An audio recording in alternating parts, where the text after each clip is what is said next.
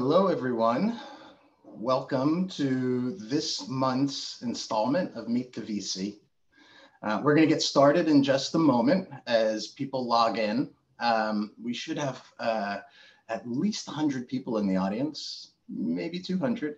Uh, so we have a good group today um, for, for VC I'm really uh, excited about. Uh, so let me just start off quickly as people settle in, um, introducing myself. Uh, my name's Dan Dato. I'm the Chief Marketing Officer at Early Growth. Uh, I've had a long career uh, starting off in the finance space, but for the last 20 years, I was a serial entrepreneur, uh, starting and growing companies, raising capital. Uh, for, for the entrepreneurs in the audience, I've been in your shoes a bunch. Uh, coming to you today from, from Los Angeles, from Santa Monica, uh, but I was born and raised in the New Jersey area. And as we do these events, a lot of times our VCs are West Coast based. That's why I'm so excited today that we've got some East Coast rep uh, coming, coming to you guys. Um, just some ground rules here as, as we get started. The, the webinar will, will be about 40 to 60 minutes long uh, with some Q&A. Uh, as you have Q&A um, questions for Nick uh, or Phil, um, just put them in the Q&A functionality in Zoom. Uh, we'll be monitoring that the whole time.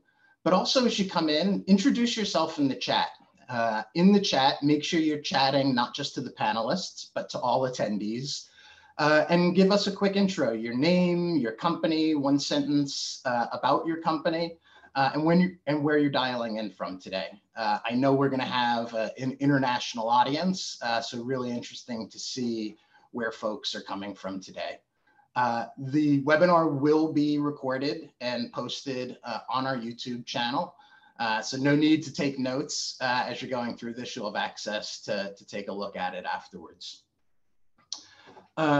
just a little bit about early growth for those of you who don't know who we are and what we do. Uh, early growth takes care of the entire finance stack for early stage startups. If you're building a company, you're looking to raise capital, it's really, really important that you focus on the things that are most important to your success. Quite often, that means your product, your service, your customers, your team. And so it's really important that you surround yourself with, with great experts in a number of different areas so things that are important, like your finances and your financial foundation, um, your sales models, your projections, your budgets, and all those things are top notch as well. So while your team focuses on, on your customers, you've got a partner like Early Growth who can help you make sure that you have no financial missteps and that finance becomes a strategic advantage of your business.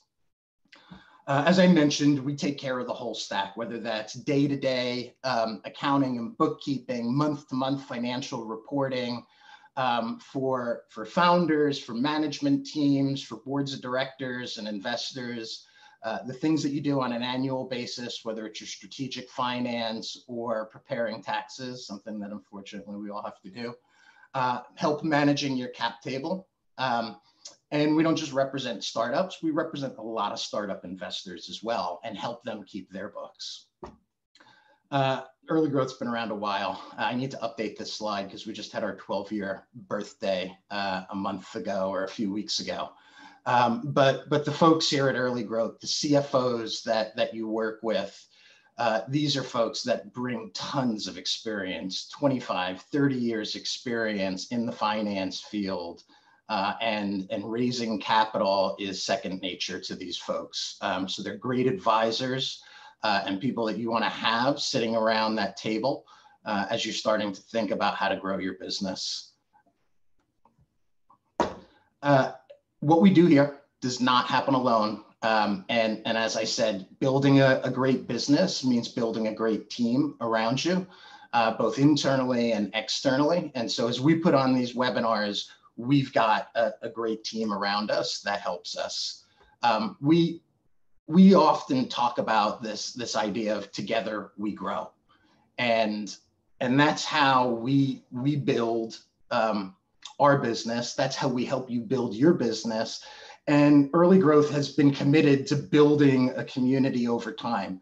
So I'm going to stop sharing my screen here and I'm going to call on some of our partners uh, to just say a little bit about themselves. This is kind of a dream team. Our first, our first company here is uh, Carl Eppers at TriNet. So Carl, uh, I just activated you as a panelist.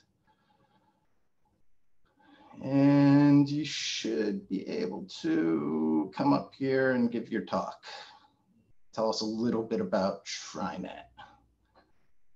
Uh, I'm seeing some technical issues. I'll tell you what we're going to do. We're going to go on to, to the next partner. And as I can get Carl, um, we will we will do that. Um, but right now, um, okay, Car Carl, we've got you. All right, unmute yourself. Uh, let's get your video going. You're up there. Awesome. Okay, so tell us a little bit about TriNet, Carl. Yeah, for sure. So, I mean, we've been around for 30 years providing back office HR infrastructure for growing companies, providing Fortune 100 level benefits. But, uh, you know, the real reason why everybody's here is because uh, you guys at Early Growth just do a fantastic job being engaged in the community. And, uh, you know, Nick Adams is the best in the business. He, we have a really good speaker here. He's a guy I've met a couple years ago. Uh, f- fantastic guy in real life and uh, and a, an amazing mentor and uh, resource for everybody in the startup community. So uh, more so than a, a, pitch of TriNet, than a pitch of early growth and Nick. Uh, you guys got the best best in the business here. So this is going to be a really good one for y'all. Awesome. Thanks, Carl. I mean, just a personal story from my perspective. Uh, last company I started, the first two phone calls I made were to early growth and to TriNet um, to get our finances set up and to make sure we had a great HR foundation to start building our team. Um, all right, next up, Jason from Rho Business Bank. Awesome. Thank you. Um, so thanks for, to Early Growth for putting this on. Super excited to be here. Thanks to Phil. Um, you know, Row is a full service digital business bank. Um, we have 75 million in FDIC insurance. We work with companies that have raised venture capital to profitable startups, really encompassing everything from core banking to corporate cards, expense management, bill pay, and even to capital markets. So we're working with a ton of companies, a lot of companies together with early growth. Um, it's been really awesome so far. So thanks for for having us. Awesome, Jason. I know Rho's a new player on the block, yeah. um, but but being the the new uh, the new kid, means you guys have a lot of tools and a lot of focus that isn't tied down by legacy and really built around how to help uh, young startups grow. Yeah. So thanks for thanks for joining us today. Absolutely. All right. Next up, Zach from Lighter Capital. All right, Zach, take yourself off of mute, get get your video going, and come join us. Hey everyone, this is Zach from Lighter Capital. We've been around about a decade and um, we provide growth capital solutions uh, anywhere from 50,000 to 3 million to early stage startups and growth stage tech companies. And uh, yeah, I just really like to thank Dan and the early growth team for including us. We're really excited about the content today. So uh, thanks, Zach. We we work with Lighter and have been working with Lighter for for years and years, and they really offer a fantastic alternative finance solution to, to companies that have recurring revenue. Uh, it's a great way to grow your business in a non-dilutive manner. Uh, so make sure you take a look at them as you start to build your own finance stack of building your company. It's not just equity investors like Nick. Um, it's not just banks who might be coming in with loans or venture uh, debt but it's companies like Lighter Capital that can also add to the mix. So it's a really great option for you. Great, thanks, Zach. Uh, next up is Alejandro with Cushman and Wakefield.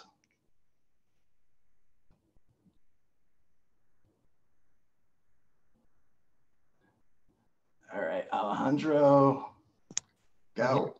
How are hey. you? Good. So thank you again for uh, for having me and having Cushman as part of the event. Great to uh, have partnered with Early Growth and, and Phil Rader for the past few years.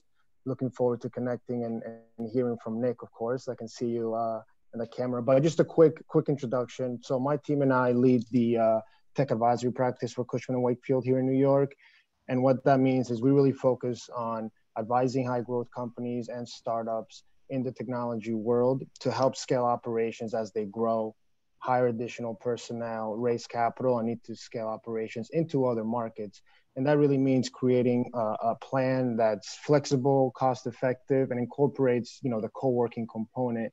And you know what we've seen this year, it, frankly, it's been obviously, as you can all imagine, has really been a pivot uh, from a, a landlord's market to a tenant's market in most major cities.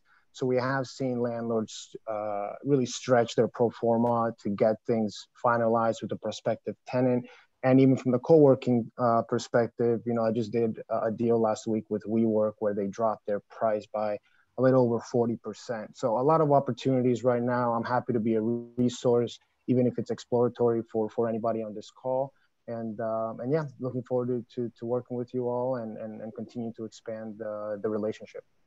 Awesome. Alejandra, thanks for joining us today. I look forward when we're all back working in the office. Oh, and I'm in New York City.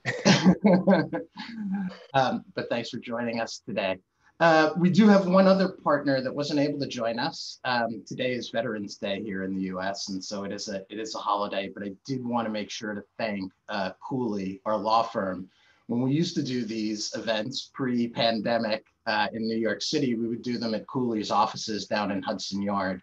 Uh, I've been a Cooley client. My last startup, I hired Cooley uh, as our attorneys. And when you're putting together a dream team, having a law firm like Cooley, um, who is again a leader, not just in terms of representing startups, but also representing startup investors, having them on your side uh, is an amazing strategic advantage. So, so thanks to Cooley.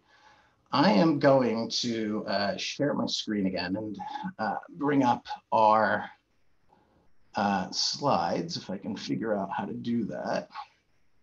Um, okay. So, all right, so we're back. Um, so just a quick thing, uh, we're moving on here. Just wanna let you know, we have a promotion running. Um, and, uh, it's not too early to get ahead of your taxes. Start thinking about the tax returns that you're going to need to file next year. You'll want to start your planning on that now while you can still take some actions to uh, to to take the most advantage uh, of your tax position. Uh, this can be anything, even as a very very early stage startup uh, that might have limited revenues uh, and no profits, and you might be thinking tax isn't an issue. You do have available to you things like R&D tax credits uh, which you can get money back from the government um, for uh, your uh, employee payroll taxes. And so you can find yourself saving six to 10% uh, on your on your overall uh, employment costs through R&D tax credits. So now's the time to get ahead of it. So we've got a promotion running. Um, you can you can check it out at, at earlygrowth.com slash tax promo. Uh, and anytime you want to get in touch with us after this, you can send an email to webinars at earlygrowth.com.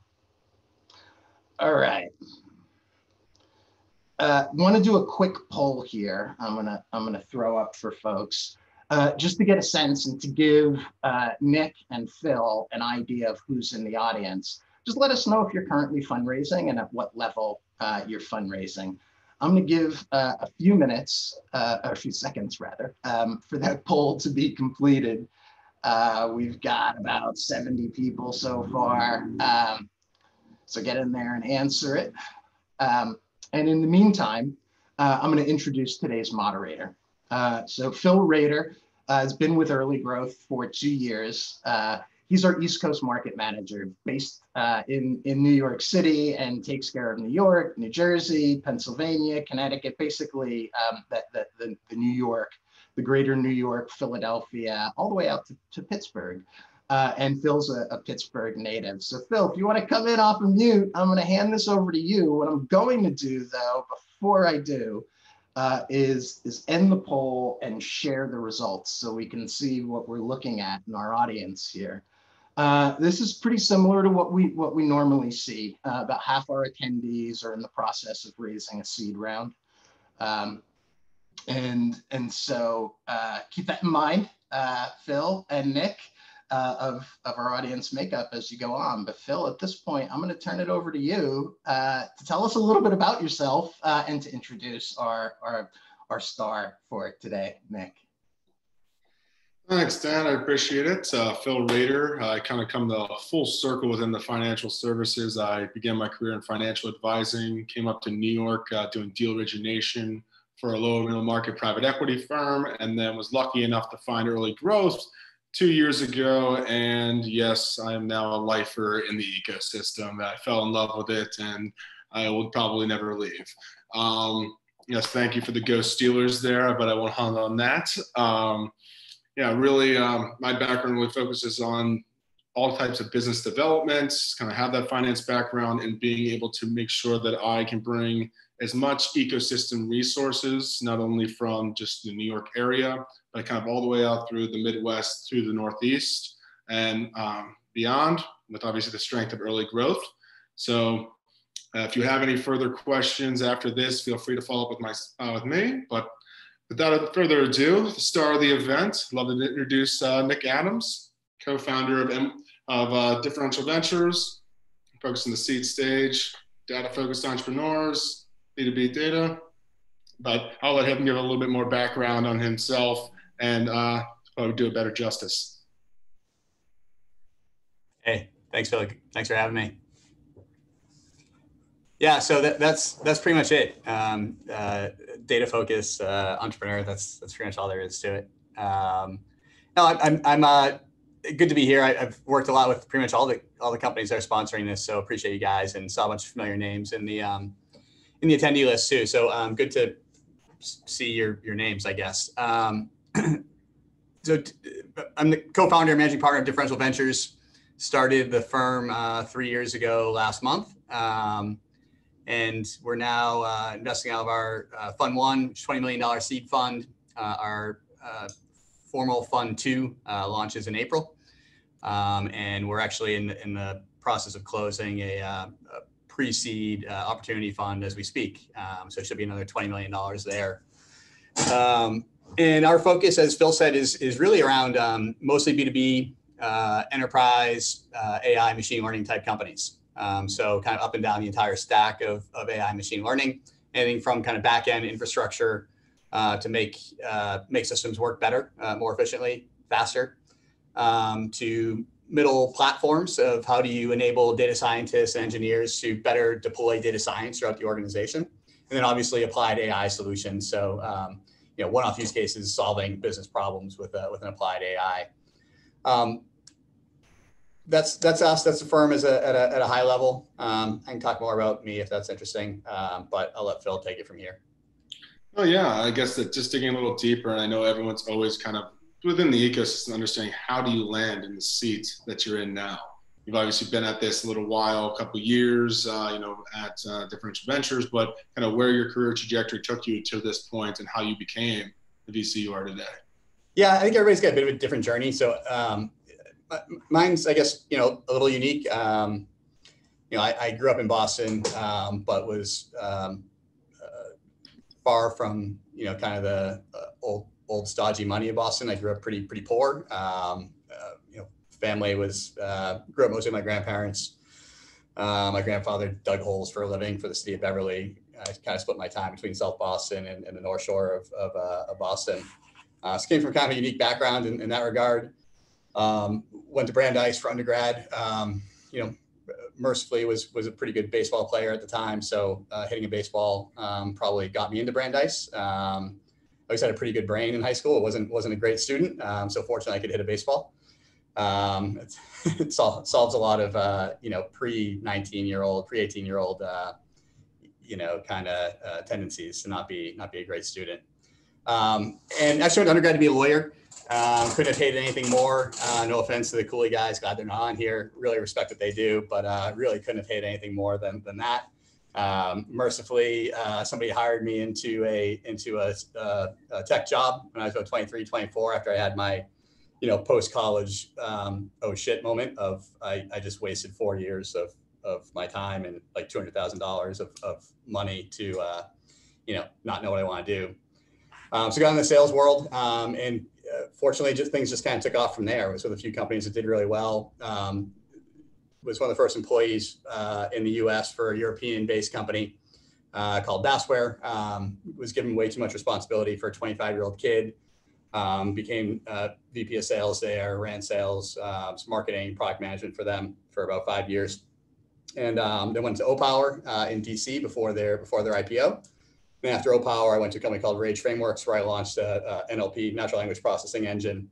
Um, the company was later sold to um, to Genpact uh, in in India along the way, I went back to school a couple times. Uh, did my MBA in corporate finance at Northeastern. Um, did a master's in global finance at um, uh, NYU and Hong Kong University of Science and Technology. So uh, I've kind of worked all over the world. Uh, spent a lot of time in Europe. Uh, ran a team in India. Um, went to grad school in in Hong Kong, um, and probably a few smatterings of, of other things I've done. Joined the venture world in 2016. Um, uh, was with Flatiron Investors here in New York um, was there for about a year and a half as a venture partner, and then um, realized it wasn't going to be the right long-term fit for me. Um, uh, and rather naively and overconfidently went out and started started my own venture capital fund, and that's sort of the the short story of that. And then the last three years have been, uh, you know, it's a whole other probably conversation, but uh, that's sort of the the journey to getting to where I am now. I mean, it, it's quite the journey. I like it. It's mean the life story to this point, and obviously I think you can resonate with a lot of these entrepreneurs because you took you took the same leap of faith and risk taking that they did, and you know, you blood, sweat, and tears, you made it happen. So, uh, I was curious: Are you actually uh, fluent at all in Mandarin from your time in Hong Kong, or no? No. I learned how to order uh, iced coffee, and I oh. could tell it. I could, I could speak. I could do that in Mandarin, uh, and then I could.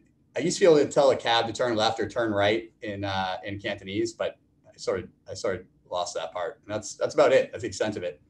Mercifully, being an American, like people always sort of, you know, around the world, uh, people expect you to really not know their their language yeah. at all. So kind of coddle us. Um, so it, it's it's really easy. everybody, everybody meets us where we are, and, and we we just don't get to their to their level usually.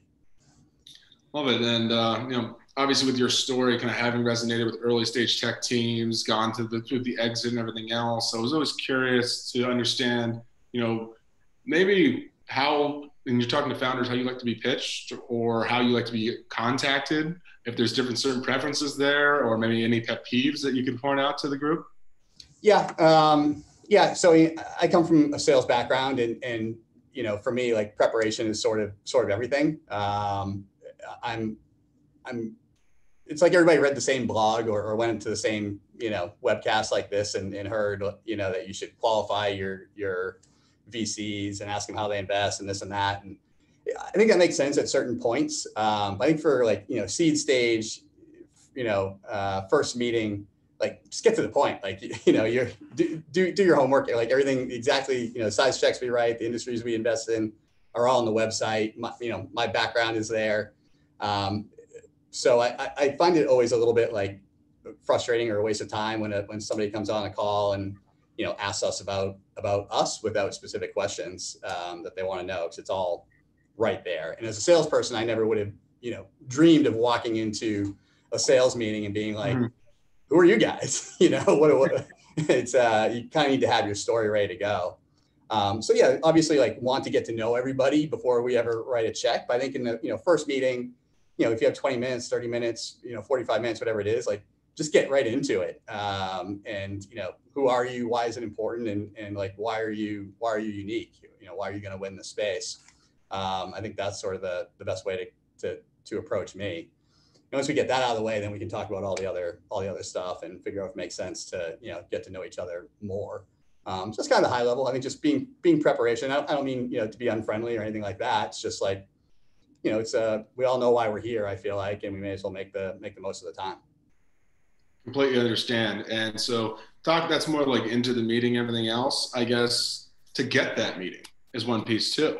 So whether that's through other investors, service providers, at warm intros, cold outreach, like kind of go dive into kind of little things you've seen there or have not liked. Yeah, um, great question. I mean, so we're all about data as as we've already established. We really like data. My partner David is you know one of the more you know probably brilliant minds in, in data science um, in in the world. Um, you know was one of the primary architects behind Renaissance Technologies and their um, you know pretty remarkable uh, quantitative hedge fund. Uh, so we like data. Um, so for for us, like we look at every deal, like whether it comes in, you know, cold, something you know really mm-hmm. off the wall, crazy, not in our thesis, to to our you know LinkedIn or cold to our, um, you know, we have a, a, a field or a um, you know screen on our website where you can upload information and tell us about you and somebody on our team looks at every single deal, like without mm-hmm. a doubt. Um, we're on track to see about 3,800 this year. So we don't we're just not able to get back to everybody, unfortunately. Um, I, I, wish we could. I wish I could, you know, have a better way of, of, of doing that without just a kind of cold automated thing. Um, and we're working on it, but um, you know, somebody looks at every single deal. The, the best ways to reach us, um, you know, through a connection um, is obviously through another VC if they're leading the round um, or, you know, really liked you, but it's not in their scope or thesis or whatever um, that's great. Uh, you know, certainly we, we take those seriously. Um, entrepreneurs that, that know us have, have pitched us before, or, you know, our, one of our portfolio companies is, is a really good way of, of getting in. Um, mm-hmm. They tend to be really selective, I find, um, in terms of sending us deals. Um, because they, they, you know, they know, they know how much volume we have and how hard it is to get investment. So they tend to be really discerning um, and, and kind of filter things out for us in a lot of, in a lot of ways. And then, um, you know, thirdly is through our service providers. Um, I think, you know, groups like I, am pretty sure every company on on this, you know, call um, has sent me uh, deals somewhere along the along the way. Um, and you know, this is part of what you're trying to do is like sit in the middle and help out the funds you work with, the companies you work with. Um, and it's you know usually easier for for you know companies to get in touch with you guys, build a relationship, and, and get to a VC. Um, so I think that's sort of like an under uh, used, underutilized approach to to meeting us. Understood. And you can you kind of walk through that a little bit, but I guess in, everything's on your website for what you do in terms of your thesis and uh, your check size. But I guess internally, how does your firm kind of improve investments? How do you guys kind of go through your investment decision process? It's a little uh, more granular on that end. Yep. So um, we have I, I have my annual LP meeting tomorrow, so this is all pretty pretty fresh in my mind. Um, so uh, you know, for us, we do uh, we do two deal flow meetings a week. On Fridays, we meet. Um, uh, we actually take our deal flow for the week and divide it amongst our team. Um, everybody goes in, makes comments, makes an initial uh, you know pass or or leave it to talk about. Um, so we kind of hammer through the new deals on Friday morning. Um, figure out next steps, you know, first meetings, who's going to take it, so on and so forth. Then on Mondays we do um, a bit of a longer meeting, which is reviewing our portfolio, what what we need, you know, for for that, and then um, everything that's a later stage in our diligence process. So beyond the first meeting, basically, um, that's where we start filtering things through. Um, so of, of all the pitch decks we receive, we we usually meet between 15 and 20 percent uh, annually. This year we're at 18 percent. Um, and then you know it, it just kind of whittles whittles itself down there but you know it's the, the math is hard i mean it, it's um you know we, we're like i said we're going to see close to 4000 deals and we're going to make probably eight new investments this year. And then um, a handful of follow-on investments into our into our existing portfolio. So you know the math is is just it's just it's tough. Um, you know there's, there's just a lot to, to manage and, and, and to look at uh, and to an entrepreneur to like you know rise to the top. But if you're in and around our thesis, like we're spending time on it. Once we take a first meeting, um, usually it starts out one of two paths. So um, our partnership today is pretty, pretty, um, we operate very flat, um, partially just because we think it's the right way to do things and partially because we have pretty different skill sets. So I come, you know, sales, marketing, uh, product management background, right? Um, been through the startup thing have gone been in companies that didn't have a damn thing trying to figure out how to like make your first marketing content close your first deal get your first reference whatever it is um, you know and then i've also been with companies that are you know public and and you know or going public and being acquired and so forth so i kind of have like my skill set of things where i'm i'm good and fortunately because and mitchell is pretty similar to me um, he, he's you know just you know older um, yeah. has done a lot of the same stuff you know about five years in venture and then David's very technical. So the great thing is like I don't have to be I'm like product manager technical, but I don't have to be David technical. And that's kind of a huge saving grace. So for us, we sort of divide and conquer in, in those ways a lot. And um, you know, usually you'll kind of, depending on the type of company and all, all of our bandwidth and everything else in a given week, you'll kind of end up on like the David track, uh, where you're you know going through a technical-ish meeting uh, earlier on, or you're going down the you know kind of uh, you know Mitchell, uh, Tiffany, our, our associate, uh, and and Nick track, where you're probably doing more like the MBA and VC and and you know go to market type conversation. And then from there, we we like you know exchange notes and and next meeting is generally you know the, the inverse of whatever you had uh, for your for your entry point. And um, you know if we get through those kind of two you know initial meetings then it starts getting into like you know more in-depth stuff where we have a um, we have a light diligence process and a deep diligence process where you know light diligence kind of where you know somebody's doing some background on on the market um, you know looking at what's new what are the recent you know fundings um, who are the real competitors what are the big companies doing um, you know starting to find out a little bit more about about the team and then deep diligence usually like we're on our path to term sheet and uh, and a deal. Um, so that's when we start getting into your data room and looking through all that fun stuff. So that's kind of the, the high level of it. Um, I'd say where you know I've learned in the last couple of years is we tend to be pretty uh, pretty pretty thorough on on the seed investing side of things. Um, mm-hmm. I'm you know we, we've had you know candidly three three deals this year that we got into that deep diligence phase where we found some really strange stuff in um, in a data room or in a founder agreement or you know contracts missing for strange reasons or the use of, of, of you know funds was you know questionable. And you know we've had to walk away from those deals but remarkably there were other investors who have put money in or you know planning to put money in without doing that type of homework and it's it's scary it's, it's a weird time to be uh to be an investor in kind of this you know sort of um, very dispersed world of, of you know high unemployment and, and uh, uh, you know stalled economy, and then this like overheated you know crazy competitive uh, venture capital market where money just flies regardless of due diligence. So we're definitely more more thorough in the seed stage, um, but I think it really um, you know pays off for us. No, and I absolutely love that when you're talking about the diligence, how thorough you are, because you hinted on it. Where I love this L- VCs raise fundraise too. You talk about you have your LP meeting. So all of that diligence is done because you have your LPs you're raising from over and over again for your funds. So I like to kind of any founders understand the trickle of where the capital is coming from before you make that decision to go into their company. Um, yeah. It's uh, it definitely flows down, and the worst thing I can do is put somebody, you know, our investor money out to work and have it go into a place where it shouldn't shouldn't be, and, and something we could have hopefully caught. So, um, you know, for us, it's a big deal, and I sort of, you know, live live by this uh, for uh, this motto and, and, this sort of belief for for us, but also for our portfolio companies. Of you know, it's the exciting, you know, the promise of what you can do, and and you know, the excitement of what's new about you that will get you in the door for a deal or an investor or whatever else and then it's all of the other really boring shit that closes the deal. it's, you know, after you get past that first meeting or so, then it's like, how buttoned up are you? You know, if you're trying to sell to LinkedIn or Microsoft or, you know, some huge company, only like the, the top, you know, 0.1% of startups can get through that sales process on Flash alone. Like now it becomes like, you know, what's your roadmap? You know, what are your financials like? How, how are you going to service us? We're, we're a behemoth and could swallow you in two minutes if we turn this on to our employee base. So like, you know, what's your customer success roadmap? Um, you know, and and what are the just you know details, mechanics of of our contract together? Um, and I think that gets overlooked a lot. The you know earlier stages of companies, um, just how buttoned up you kind of need to have at least your story around all of that.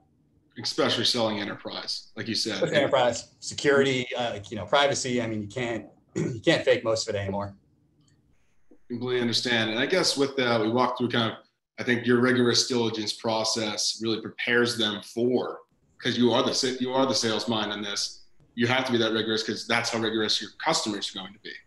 Um, but what do you think kind of few areas where you add a kind of unique or disproportionate advantage of as being an investor for these founders?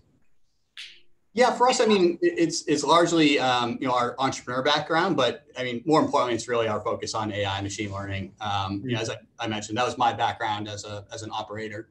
Um, so I think we got a pretty good sense of you know what what what buyers are looking for, what they need, and how they want to be talked to. Um, but more importantly, you know, we can kind of unleash David on on uh, you know technical issues, and again, that's sort of how we divide and conquer things. So, you know, uh, we're we're in diligence with the company right now, where you know I'll hop on a call and and you know David will join, but we'll just hammer out the the sales model, the go to market model, and and poke some holes in it and see see what the responses are, um, and figure out kind of you know how much we usually need to uh, um, kind of hedge uh, in terms of expectations and you know what things um,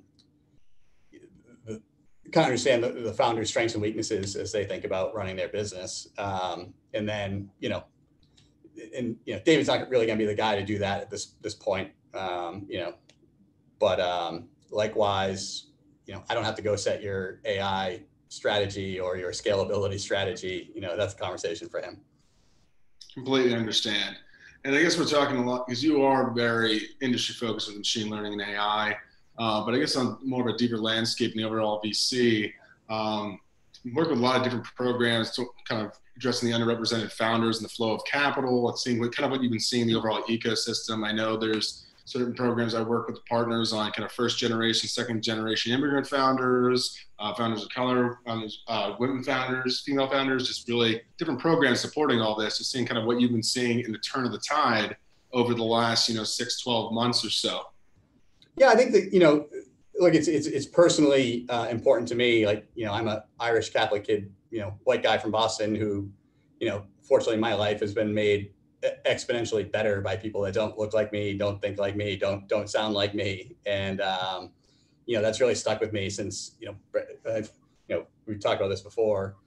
You know, growing up Irish Catholic kid and then ending up at a, a Jewish college in Boston was like pretty eye opening for me. It's really changed. You know, Boston's a small little community in a lot of ways. It's not very diverse, uh, but but Brandeis was like a totally new experience for me, where I was you know a minority amongst um, amongst people who were used to be minorities and from there like i've always just self-selected into um, you know people who are saw the world differently from me and uh, going to school in hong kong was like you know kind of the pinnacle of that where mm-hmm. you know, i'd travel around asia with with my friends who are you know my best friends in the world now um, and not in a mean way but they would like point out you know my white privilege in certain cases where where a waiter or a waitress or somebody would treat me differently from from them or uh, would you know we'd be out and they'd they'd point out how you know we'd, we'd, be in Manila in the Philippines and they'd be like you know everybody's watching you to see what you do, how you act, how you behave, and it was really it was really eye opening. Um, uh, it was it was you know helpful for me and and you know hence personally important.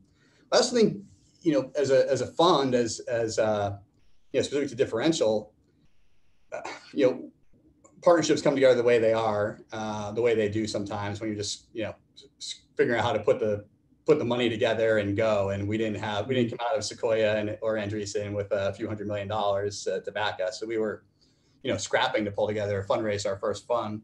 So we're not the most diverse group today, but we self we all select for it um, in our hiring and and in our investment approach.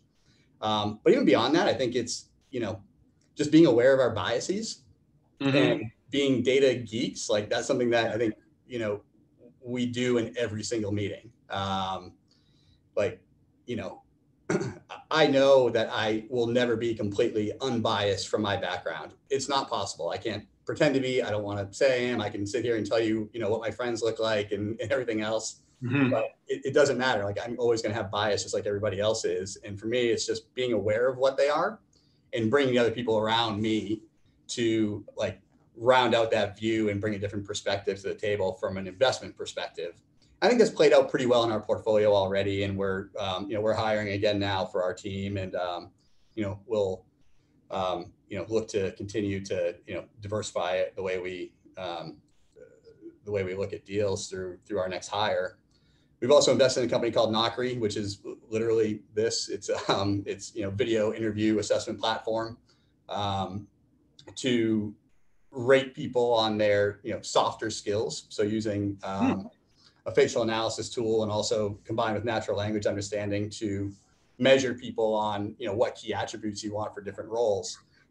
um, and it's pretty cool. I'm using it right now for for our hire for a new associate, and I get you know an, a candidate ID number and then their score in the categories that we've we've chosen. I don't know what they look like. I don't know what they sound like unless I like drill deeper. Um, but it's it's really really helpful for us in terms of like trying to put everything on the same playing field.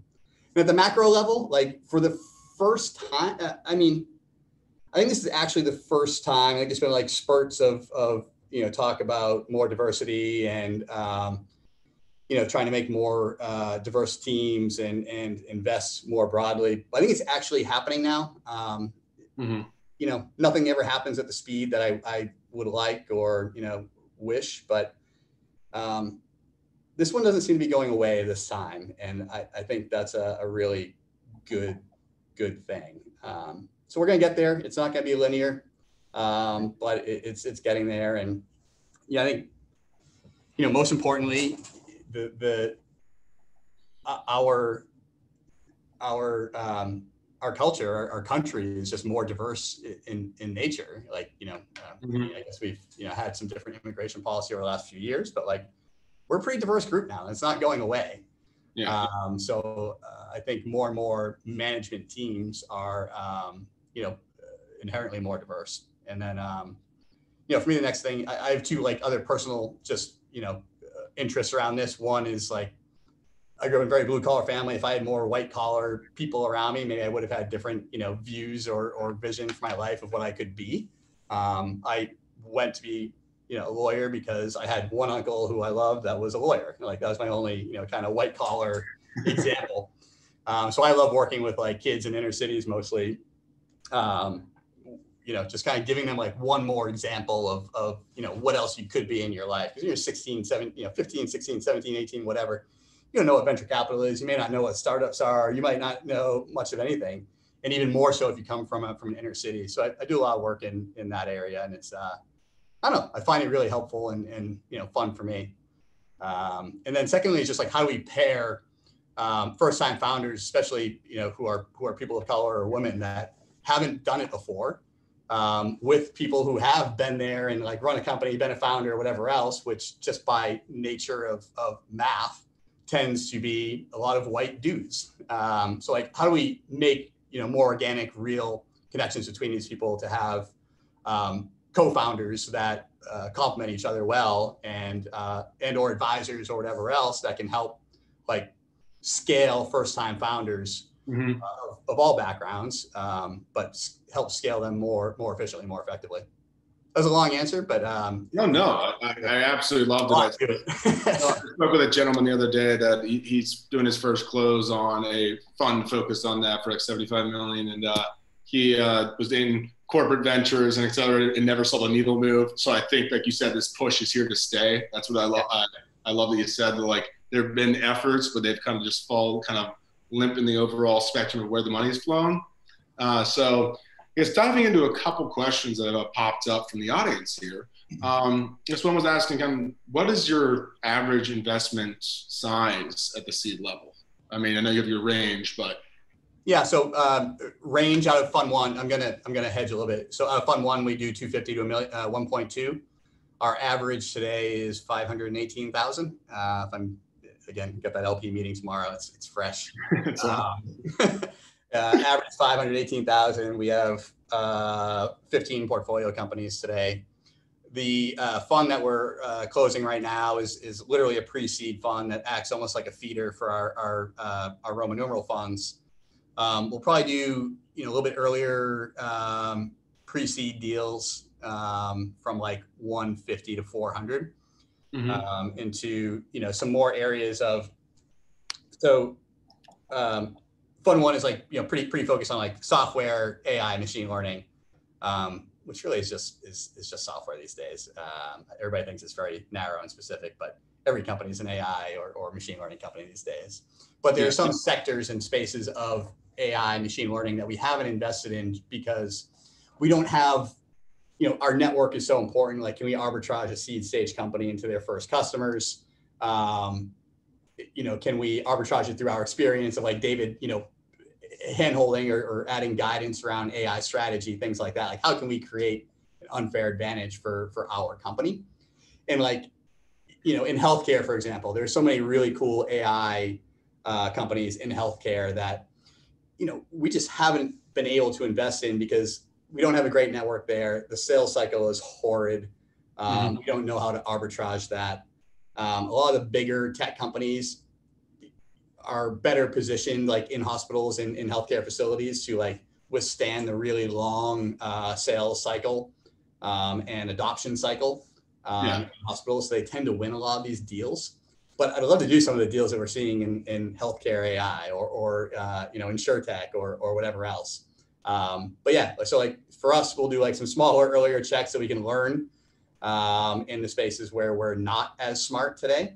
And then mm-hmm. the great thing is, you know, we can then um, have like a front row seat to invest out of our fund one or fund two into the, the seed round for those. So, you know, for us, it's just like, we're still new kids on the block, but we want to, you know, mm-hmm. play nicely with the, the big, the big funds, um, but also start to compete with them more as they come earlier and earlier. And this is, uh, this is one way to do it. Absolutely love it. Um, yeah, and I guess combining a few of these kind of questions a little bit is one, maybe some more specific things that have raised red flags as you're doing due diligence, so they can be uh, founders can be careful to avoid them. And then also, kind of on that, when you mentioned 3,800 deals, you can't get back to everyone.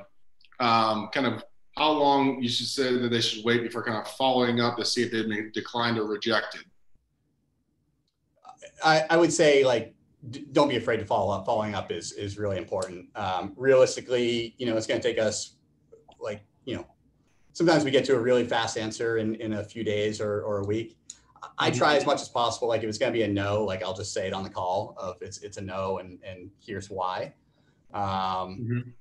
You know, sometimes um, you know, but there's a fair amount of times where I'm like, eh, I'm not sure I'm here, but I want to talk about this with the rest of our team if somebody else can convince me that this is space that we should be in or take a closer look at, then you know we'll do the we'll do the follow up.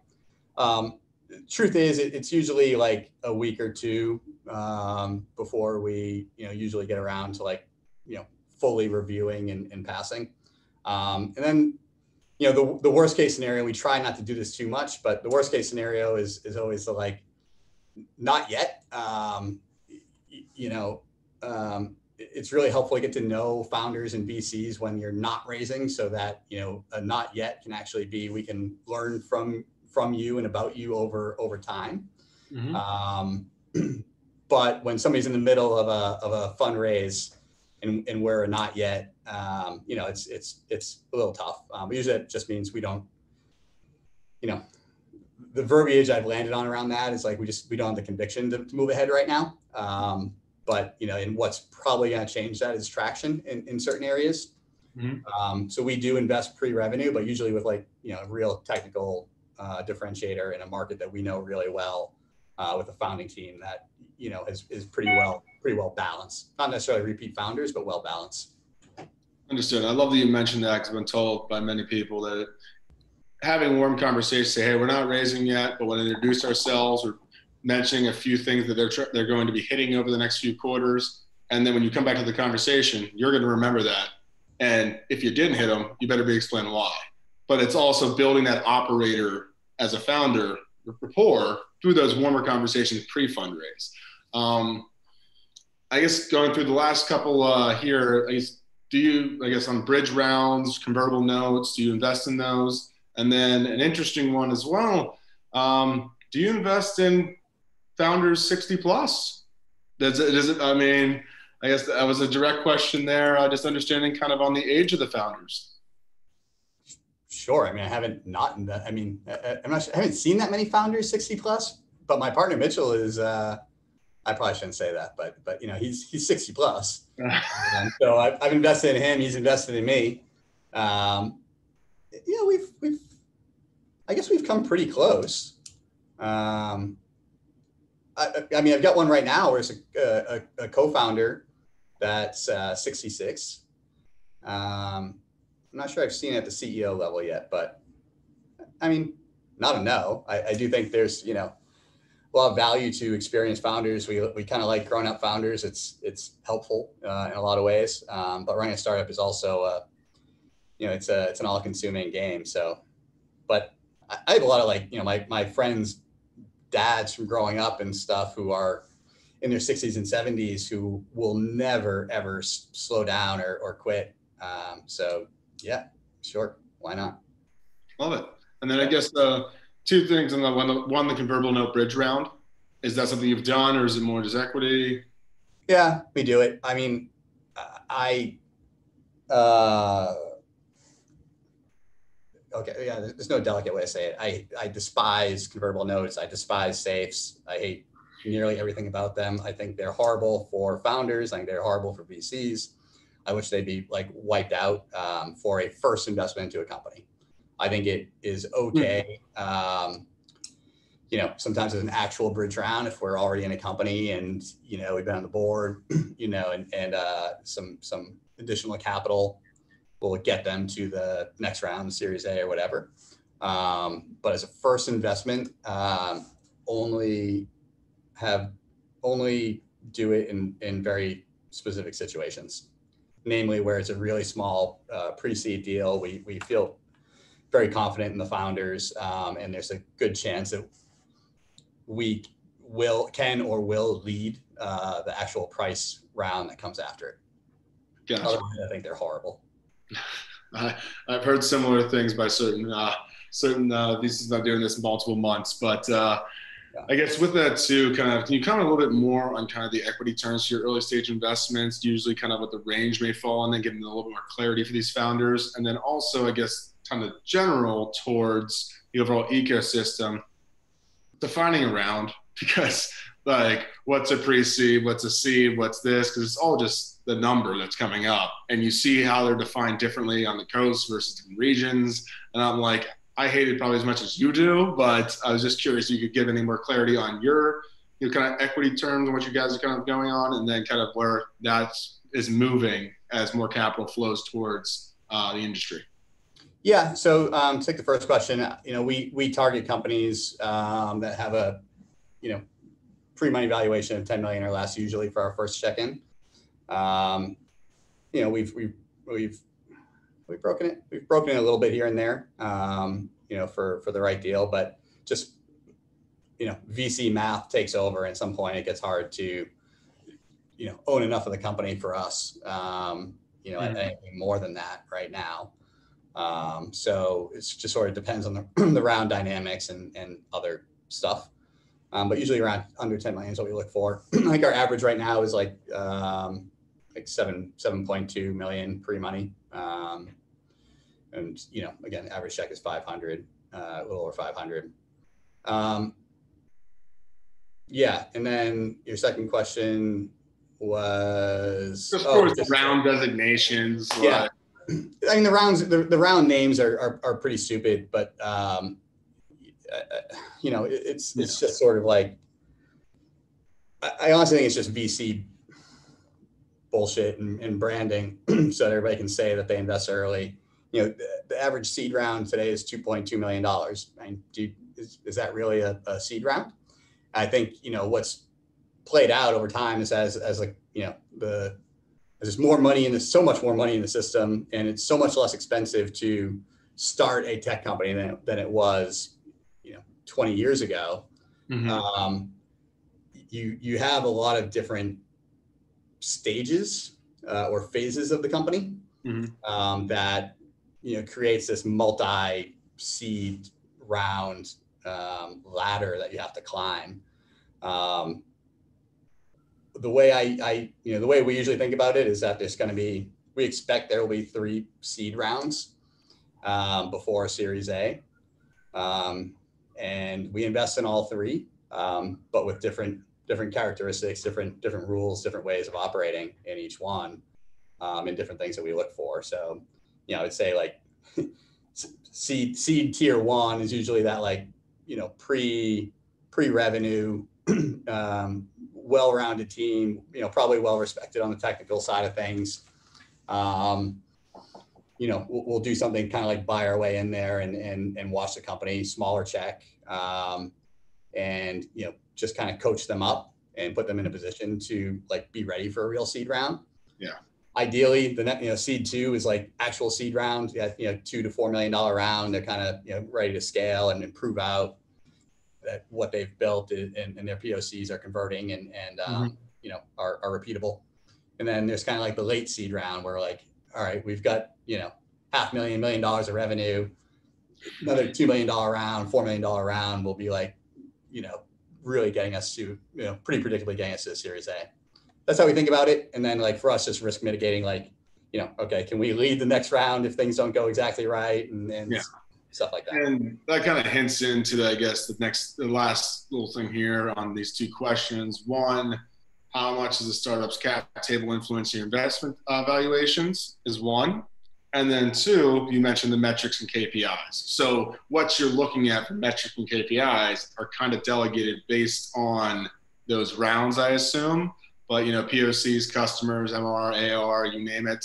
Um, and you kind of already touched on the your view on the longer sales cycles in some industries where you don't think you can add that strategic advantage uh, from differentials, and that's where you've kind of, I guess, held back in those certain areas. Yeah. Um, cap table first. cap, Sorry. Yeah. uh, cap table first. Cap table is a, huge deal. I mean, huge deal. Um, I, I can't believe how much time I spend cleaning up cap tables. Um, it's just, you know, even even I mean, these Ocrolus are, are you know our first investment Ocrolus. Um, you know, Series Series B company um, have, have, grown really fast. Uh, we're just named, you know, fast growing fintech in in the U.S. by Inc. Magazine. Um, have brought in, you know, big, you know, big VCs uh, along the way. so I, have been on the board for, for for three years. I've, I've known Sam for about four years, CEO. You know, they raise so much. They talk about cobbling together a seed round. Like they have you know every every Bobley on earth uh, sam's sam's last name and family is, is was on the cap table um, you know neighbors relatives you know angel investors like as a you know angel groups like it is wild. Um, and you know fortunately we we um, you know brought in some really good lead investors for series a bullpen capital and qed who just like knew how to do the work roll up their sleeves and clean up the cap table and set the company on a much healthier financial track. Um, I learned a lot from that experience actually, and uh, it's something that I've, I've done a lot of with some of our other our other portfolio companies along the way. Just give me the confidence and know how to do it, and and like, you know, what what it what it needs to look like to get to that next you know Series A uh, without like you, know, you want your cap table and like your founder ownership to be like lights out like checkbox when you're going into your Series A, Series B. If it's a red flag at all, like it's just such a there's so many other things that can kill your deal. Like you just don't want your cap table to be to be one of those things. Um, so super important. And um, yeah, I could probably go on about that a lot longer, but um, really. Yeah, cap, the cap table's messy. You're, you're getting your chances killed before you even get to the tranches. Yeah, I mean, look, you, you raise the way you the, you raise the way you, you, you raise, and if you know, end of the day, like the traction's there and the numbers look good and everything else, like you're gonna get the money, and you'll find somebody like like Bullpen or us that knows how to do it and is willing to like go through the pain of cleaning up a cap table, come in and clean up your cap table. And um, but if not, you're going to hang yourself on your cap table. It's it's a it's a dangerous spot to be. I hear you. Well, with that, I'll hand it back over to Dan for a little bit. Uh, I know he's probably been chomping at the bit to chime in. yeah, thanks, Phil. Um, hey, we're coming up to the end of an hour. Uh, and and I think Nick is going to stick around for, for a little bit more to, to kind of go into overtime and, and answer a few more questions. But I did want to be respectful of everyone that's joined us that might have another meeting coming up here at the, at the top of the hour. Uh, we will send an email out to everyone uh, that that's attended this webinar uh, with information on on our wonderful partners and how to get in touch with them, as well as a link to the video. Uh, so we'll follow up with you um, and we'll also share our upcoming events. We have an, a, a panel event next week uh, that's focused on Latinx investors and founders. Uh, so we do a lot of work um, as we build community, thinking about underrepresented groups uh, and whether that's Black founders, women founders, Latinx founders, um, and how uh, the issues surrounding each of those communities uh, affect not just the founders, but the investor community as well. So we'd love to have you join us for that. Uh, and we will have another Meet the VC uh, next month. Uh, we haven't posted it on our website yet, but it is on December 9th. Uh, so keep an eye out for that, but we will follow up via email. So for all those that have to drop, thank you for attending. For all those sticking around, again, we're going to dive into some more questions. And, and I'm going to throw out a question for Nick because I have been chomping at the bit. Um, one, one of the questions that came in from the audience was about how COVID uh, has in, affected uh, the investing process. I'm going to put a, a, a, slightly different spin on that. Um, because what we see both with all the relationships with our founders and our startups as well as VCs is a big impact on that has been the mental health of founders. Uh, and I think uh, people are struggling, right? People are struggling to get through the day. There's a whole different boatload of issues that have kind of come into play here. And so I'd love to hear from your perspective um, how you're helping your portfolio companies, your founders, advice you can give to our founders here uh, on, on the webinar today about how they, they might address some of these issues. Yeah. Um, I'm a Bostonian and, and, I'm, you know, we're not, we're not always great at saying things in the most delicate way, but I'll, I'll, I'll do my best. Um, it sucks. I mean, it, it's, uh, it's a brutal time. And uh, I think, you know, for me personally, like I'm a I'm you know nearly 40 year old guy. I'm I'm single. I have no kids, um, and I have to get out of my apartment every day. I, I you know, did it for two months. I've worked from home before. Like I gotta get out. you know, here I'm sitting in you know our office. Uh, Mitchell's here, but you know most days it's me sitting here by myself and like just getting out, moving around, going through the, that process of like leaving my house, going to work, and coming back is, is helpful for me. I've always wanted to come. I've always needed a combination of of like at home in the office and, and traveling. Um, so like it's important for my mental health. I know that. Um, you know, from a you know purely VC and, and board member uh, perspective, um, it, it's tough. I mean, we've um, there's like the business side of things that we're trying to take things off of the, the plates of, of some of our founders. Um, like where can we just help out and, and, maybe get Tiffany on my team to you know work on a couple things um, if a founder is struggling with like kids, family, just getting getting time alone or or you know away from the business even to spend with the kids and family. Um, that's not like in a stressful stressful way. So I think just try and take whatever we can off their plates.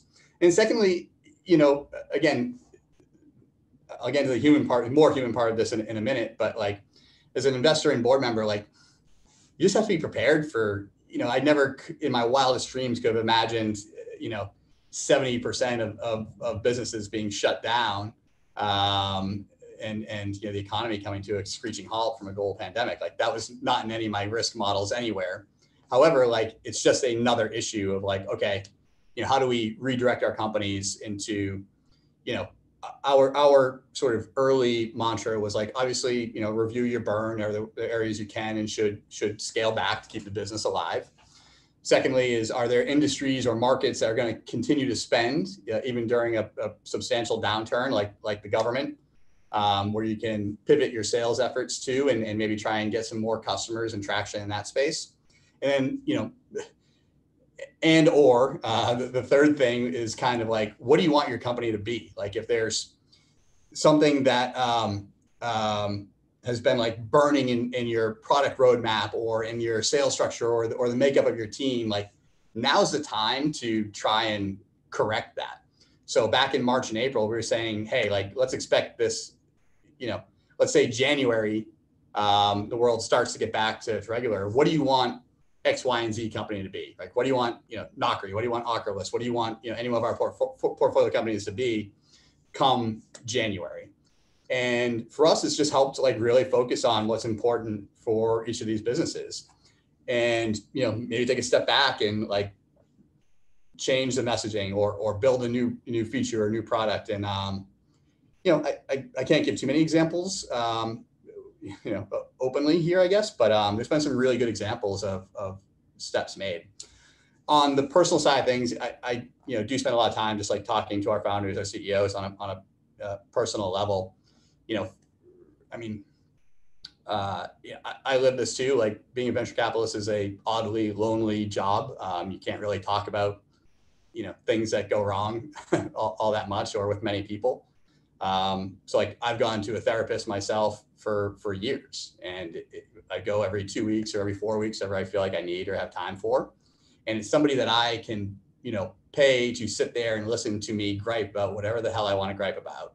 If you know my mom's driving me crazy, like I can talk about that. If if you know girlfriend is in a, in a bad spot or whatever, like you talk about that. If it's work stuff like this, I know it's not going to leave that room. So I recommend that for everybody in whatever shape or form they can they can do it. And then lastly, it's like learning how to um, take advantage of whatever downtime you have um, to kind of um, refresh yourself. And you know, sometimes you have 10 minutes to yourself. You've got to learn how to like take advantage of those those 10 minutes, recharge, refresh, whatever it is. Sometimes you have an hour, sometimes you have a day or a weekend, like whatever you have, you have to sort of like plan for it or or recognize that you're in your downtime and figure out what it is you do that like clears your head. For me, like I'm a big walker. Like I can walk, I do audiobooks. I'm not a great reader, but I'm a great listener.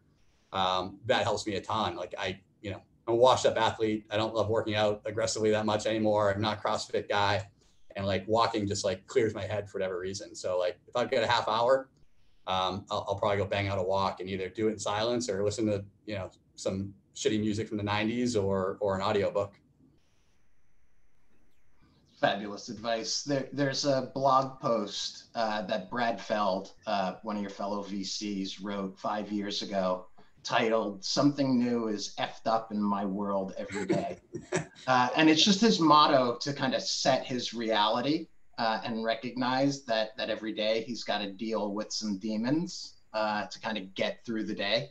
I'll share the link to the blog post in the chat for, for our audience. But um, but I do think finding even just 10 minutes a day, whether it's a walk or it's a headspace session or whatever it takes that can just kind of get you to be able to catch your breath uh, and heal yourself mentally. Uh, and then ensure that you're building up your support net network around you, um, both personal therapists and professional coaches. Um, I think these are all valuable resources that certainly have been highlighted in this time. Phil, I don't. I've got. I can continue asking questions. Um, well, I got a, I got a couple just throughout. I uh, kind of tie this all up, guys. And I, I know personal programs, different things that Nick and his team and his partners do to support their founders, which I think is amazing because uh, different founders being able to lean on one another because they're as lonely as VC is. Sometimes you want to be able to talk kind of founder to founder for unbiased uh, feedback as well. Um, but I guess one thing was talking about the the raises and crowdfunding and your thoughts on that and how it pertains to you know more equity rounds that you're doing and your viewpoints on that when a founder comes to you if they went through that route. Um, the, sorry, the, the uh, equity equity crowdfunding. Yeah. Yeah. Um, look, I, I think I think it's good. I, you know the um, the we're in a new state of of how deals get done and um, as an investor, uh, you know, I probably have a bit of a different view on this of like, I think it's better to bring more people around the table um, for a company at a certain stage. So like, and, and, and that, that takes on different, different meanings. Long story short, like my advice to founders is like raise money however you can raise money to start your business because at the seed stage, like the math is so crazy stacked against you for getting investment from a VC fund, you know, right out of the gate that like you just have to get the money. And and this is what you know people want. And they you know you know sometimes rightfully so complain that vcs don't take you know early enough risks or whatever else. Um, mm-hmm. there's just a lot of other sources of capital out there to go find it. And you know the, the reality is if like if you find capital you know out of pretty much anywhere and grow your business enough you know at, at really I, I find venture capital to be like a velocity business as much as anything. If you grow your business big enough and and fast enough and, and have the right people you know on the journey with you the vc money will come. There's no question. Like, we will find you. You know we will we will hunt you down and find you. Like, especially series a right? Like series a series b like that's a i should say series b and beyond is like a different planet from what i do. Like for us seed stage investing like you know every founder that that we're meeting with is more or less banking hoping for us to take a, a shot on them, right? And then for us, it's then like, can we take a shot on these guys and then, you know, bring in other co-investors with us and mitigate our risk and bring the right people around the table to like mm-hmm. set it on a healthy, healthy trajectory. Whereas Series B, like if you're if you're going if you're going at the right pace, you've got VCs, you know, pounding on your door, and it's a very competitive business at, at that stage. So it's, it's a it's, it's, a very different job, I think, in, in a lot of ways. Um, but yeah, raise money however you can. You know, I've, I've had I've had black founders, I've had Latino founders, I've had women founders ask me if it was bad to take money from you know one of these groups that's you know really focused on on diverse founders. And I was like, no, like you know, take the money like however you can get it, like take it. It's not going to reflect poorly. Um, and you know, it's still going to be hard to raise a seed round, regardless of where your earlier money came from or Series A. But if you if you can you know prove the business out, it'll all be good. Just focus on building a good business. That's it. Money's green and has no gender, right? Um, yeah, exactly, exactly. Um, it's just it's just like getting into the system. Like the problem is is truly you know the the, mm-hmm. the network part of it and, and the access part of it to to VCs and like the whole you know not reviewing cold pitch decks and you have to be introduced by another VC, like that shit's ancient. Like that needs to die. Um, look, mm-hmm. it's not a bad thing. Like obviously, you know, respect those relationships and get good deals from our VC partners. But like to say we don't look at, you know, deals mm-hmm. that come into us cold, like why? Like, you know, that that's what that's what I get paid to do. Like literally, that's my job. And if I went to my LPs and said, "Oh yeah, we, you know, we get 300 deals a year from VCs that we look at seriously, and the other 3,500 we throw in the trash. Like, get out of here. Like, you know. So, so, the same summation is at the early stage, raise money any way you can, and for VCs, like we're trying to find that deal any way we can. So, um, yeah, exactly. Last kind of question, wrap up this. Uh, this it's been absolutely amazing, and thank you, Nick. Uh, is one any tips on calculating valuation for a pre-revenue company? yeah, exactly. That's what I thought. Um, I'm like, yeah, it's pretty tough on that one, but.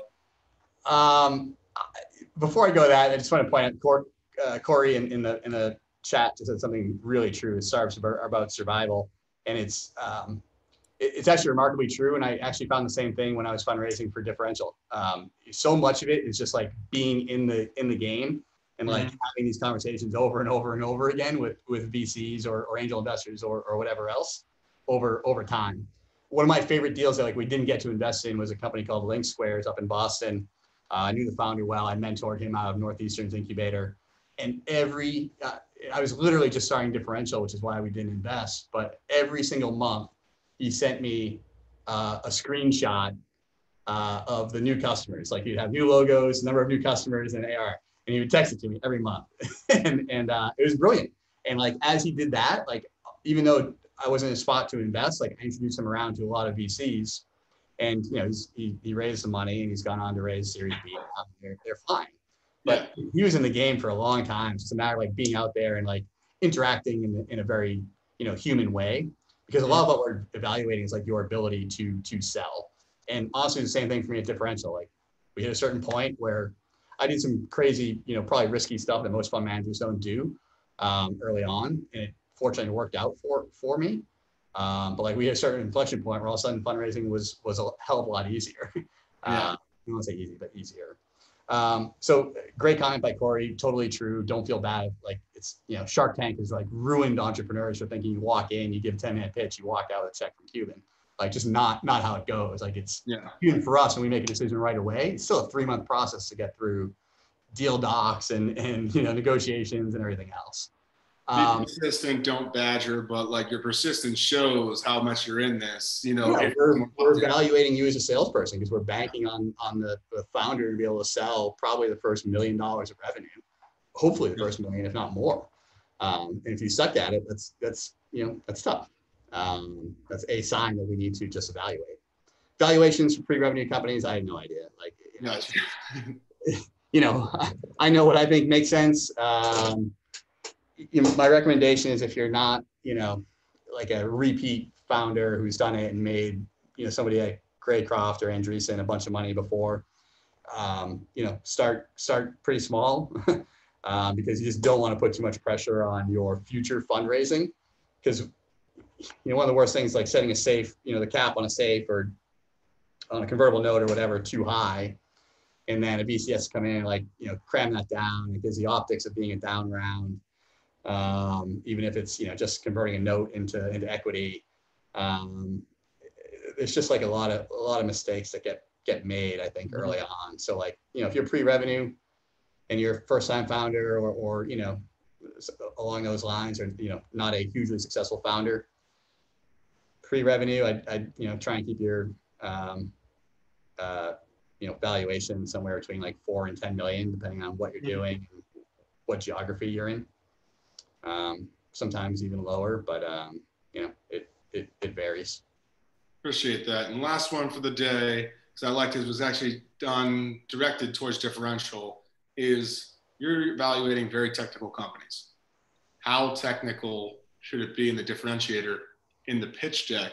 Because you can only show so much to grab your attention, but you're really doing a lot more. I think that David is your guy that goes in deep. Uh, but uh, no, I just wanted to give a little more feedback on that one.